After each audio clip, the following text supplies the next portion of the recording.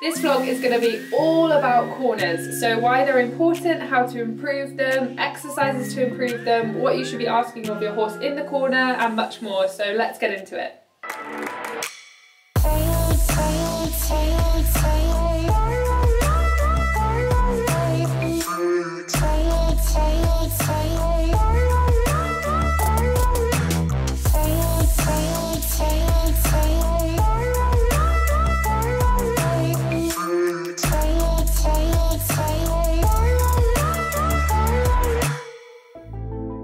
Guys, so in this vlog I am going to get straight to the point. It's going to be all about corners, why they're important, how to improve them, exercises to improve them, and whatever else I can think about. Um, because if you guys have been following my journey recently, you will realise that I had a big kind of like epiphany moment with why I feel like my tests are going wrong and I'm not getting as many marks and it was because I was right I, I, like I just was not practicing my corners at home. Um, I was so focused on the movements that I was forgetting the the like sewing the movements together you know the stitching. I was trying to think of something really clever to say then. But there we go. Um, so yeah that's what we're going to be talking about. Okay, so let's first talk about why corners are important. Um, so the first thing is obviously for test riding. Um, if you have a dodgy corner, so say the horse um, sort of rushes through it, falls in, um, is against your leg, uh, loses the balance in the corner, then that is going to have a big effect on the move you do after the corner and you have to think when you're going around a test the corners come up quite a lot. Um, so even when you're doing prelim, and say you're going to do a 20 meter circle or you're going to do um, across the diagonal, it's so important that you give yourself that time because if you think about when you have to go marker to marker, if you have a dodgy corner, you're already at the marker before you're turning um, and it really doesn't help with the balance or anything. And then as you um, go up the levels and the movements get harder, it's even more important because um, you need a lot more balance for those moves. So that is why they're really important for test riding. The other reason as well that I've found is they have really helped with my training in the fact of I know when the horse is really with me. So if the horse tries to skirt around the corner, run through it, like all those things I've explained, I know that the horse is not truly with me, um, they're a little bit against me, and I've just found from doing this, it really comes out in the corners. I think as well it's that ultimate like are you like are you with your horse? Are they listening to you? Are they on the aids? Um, can you half halt them? Can you push them forwards? Can you move them off your right leg your left leg? Um, so that's really important. So how we go about improving the corners or introducing the corners um, with the horses really does depend on a few things Firstly, it depends on the age of the horse. Um, so for example, if you're riding like a three or four year old, um, or again, maybe even not the age, maybe like the level of the horse, I wouldn't take like a very, very novice horse or a very, very young horse deep into the corners because that's too hard for them physically and it's gonna throw them off balance. Um, so what I often do is think of doing like a half 20 meter circle either end of the arena um, instead of going into the corners because um, this encourages the horse to stay in balance um, and it encourages the horse to stay through, listen to the outside rein, listen to the inside leg. What's really important when you're doing this with the young horses um, or a novice horse don't just think because I'm not going into my corners that means that I don't have to think about them. You still have to think about them. So say on that half 20 meter circle, you still need to be thinking, is the horse leaning on my inside leg? Are they in my outside rein? Are they staying forwards and pushing around that turn? Even though it's easier, it still needs to be like a good quality if that makes sense. Okay, next up is the older horses, maybe a little bit more advanced, maybe a little bit stronger. And again, you might be thinking, well, how do I know when they're ready?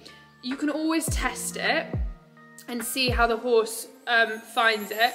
I do have to say though with this, even on the older horses who are ready, they, they do struggle when you first start teaching them to do the corners. You might feel like they get a little bit tired, um, you'll feel like the way of going might drop a little bit, and your job as a rider is to go, okay, can I help the horse through this, or is it actually getting worse through me doing this. And again, this is where it's not black and white. I can't give one rule for everything. Um, you do need to sort of um, feel your way through it a little bit. I'm just giving different examples. So anyway, um, for example, like Wilfred, who's a Grand Prix horse, when I started like working him in the corners, this horse can do piaffe, passage, ones, pirouettes. He struggled in the corners, okay? So it's kind of a thing if you have to go, right, they have to build strength in that area. Um, he's not used to it. I have been ignoring them for most of our life, so it's gonna be a little bit difficult for him. Um, but when, yeah, when you are ready to start introducing them and you feel like the horse is ready, um, a few ways that I've found really useful and I have been told so many times, go into your corners, use your corners, and for a day I'm like, yeah, cool, doing it, and then I forget, and I'm like, I go off thinking about something else, and then I go and do a test, and I'm like, oh, I haven't done my corners properly. So I needed something that was going to mentally remind me to do it all the time. Um, so this is why I set up this.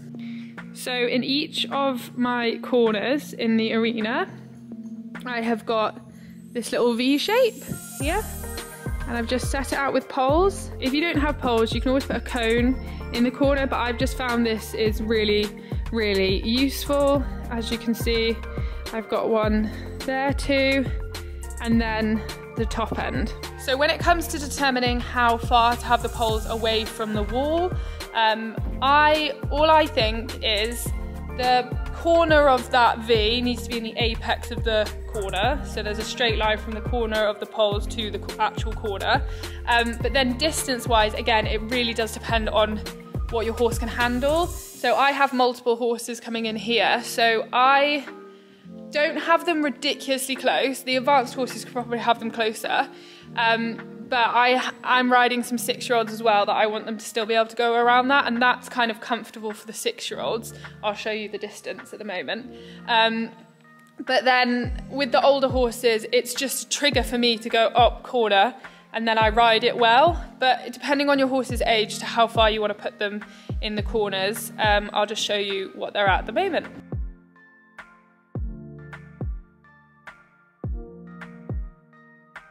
And for those of you that like to know properly, I'll do my feet. So it's one, two, three, four, five, six, seven, eight, nine, 10. Okay, so about 10 steps. So that is why corners are important and one of my main ways of improving them is using this exercise.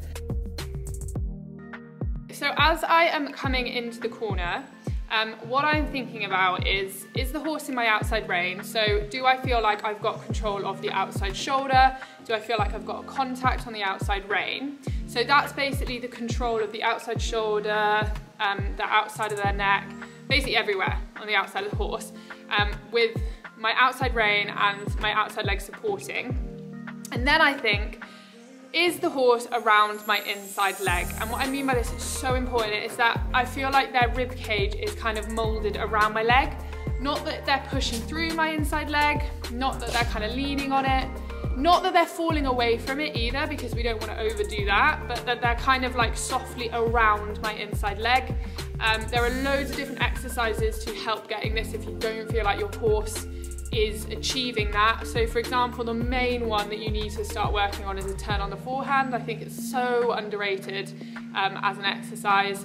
I always do my turn on the forehands out of walk and I'm just really thinking about the horse giving in the rib cage, moving away from my leg. Um, and that is basically what I'll explain in the corner. I need that little bit of a feeling to get a good corner. So um, yeah, are they around my inside leg? The next one is can I have a little bit of inside flexion? Um, and what I mean by inside flexion is not too much inside bend. So I always think of bend being like at the lower part of their neck and then flexion being up at the poll so they can have that little bit more of a, um, yeah, just bend through the poll. And what I find with that is it really helps them stay uphill. Um, and also you want to be careful you don't get too much bend in your corners because if you, the more you bend your horse to the inside, the more they're going to fall onto the outside shoulder. Um, and that's again why it's really important that you have your outside rein. So you want to think, I've got them on the outside rein, I've got them around my inside leg, I can have a little bit of inside flexion. And then the next important part is that you can move the horse's body where you need to. And what I mean by this is, um, so for example, with the older horses, what I always think about when I come into a corner is placing the inside hind leg between the two front legs. So I am a little bit, a little bit, this is important, you don't want to do this too much otherwise you'll clang their hind legs on the wall, a little bit pushing their quarters out, but that's just enough that the inside hind leg then places between the two front legs and this engages them more, this stops them falling around the corner and leaning onto my inside leg. Um, and this again really helps when I am setting them up to go on a diagonal um, to do like, I don't know, the changes or the extended canter and it really just makes sure that they're with me. Okay, so a really common problem that we see with the corners, or I definitely struggled with the corners, is um, having the horse rush through them because it's hard for them. Um, a lot of horses rush through them, or you have the opposite problem where it's really hard, so they slow down, lose engagement, stop pushing. So an exercise that helps both of, of these things um, is the um, trot, walk, trot exercise through the corner. So what you do is you're coming into the corner and you walk in good time before it. You walk the horse through the corner. Say the ones that want to rush, this is where you can give them a little bit of a half halt. Say the ones that want to unengage, this is where you can actually engage them because half halting the horse and transitions also helps engage the horse as well as stopping them run off. It's a beautiful exercise that works both ways. Um, you walk them through the corner and then you trot them out of the corner. So to start with, on the younger ones or the, the not so established horses, I would say just do that on the long sides and then um, just walk the short sides. But as you get a little bit more, um, a little bit stronger, the horse gets a little bit more knowing what it's doing, you can add the trot in on the short sides, but it does come up quickly. The one thing I'd say with this exercise is sometimes it gets a little bit messy before it gets better. That's completely normal. You have to sort of stick with it. Um, this exercise as well can be done in canter, so canter, walk, canter. That's really helpful.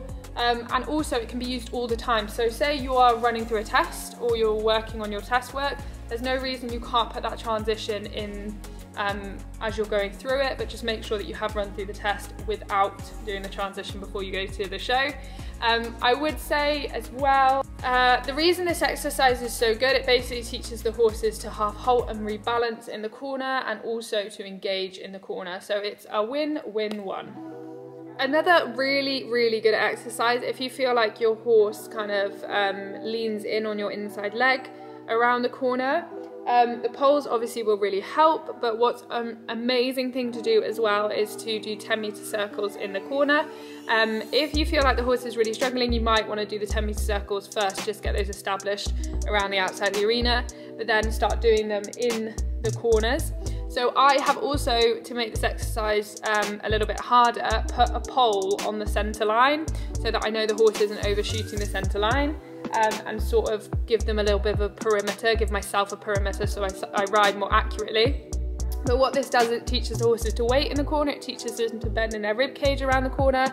Um, it's a really good strengthening exercise as well. I spend a lot of time, especially with the six-year-olds at the moment, working on their 10 meter circles in canter, making sure that they are pushing, staying through, staying round. So that is a really um, good exercise as well to help you.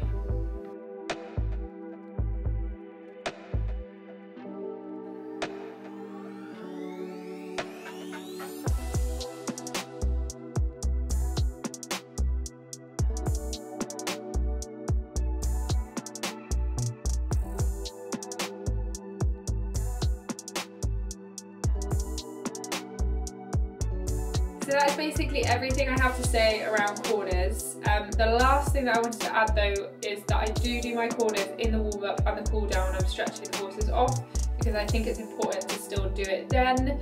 Um, but yeah, that is basically it. So I really hope you have found this vlog interesting and tutorial interesting. If you have, I'd love to hear what you thought, so just pop a comment and I will get back to you. If you found it useful as well, please do share it onto your social media platforms. The easiest way is through Instagram stories and just tag me in it, which is towers432 and I can see what you thought. If you feel like a friend needs to see it, send it to them. Um, and let me know if you want me to do more kind of tutorial style vlogs like this. And I'll see you for the next one.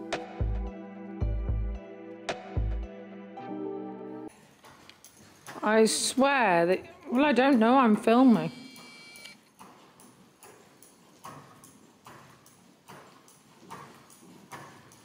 Different bloody angles.